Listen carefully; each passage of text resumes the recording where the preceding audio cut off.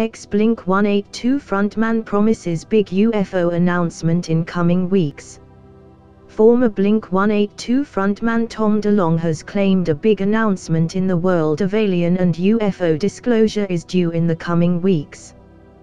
The singer turned UFO investigator spoke after being named UFO Researcher of the Year by the International UFO Congress. In his acceptance speech, he suggested there was about to be a big leap in the quest for truth over aliens.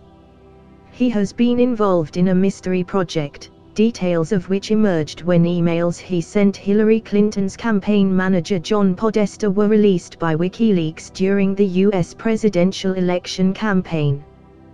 The emails suggested he was in talks with significant US military sources. He also said his mission has seen him hunted by shady officials, with his phone being tapped, due to his sources. In his acceptance speech, he said, There's a lot that I can't say, but there's some that I can, but there will be an announcement in the coming weeks. He said his announcement may be missed by mainstream media. However, he claimed, the UFO community would see the significance,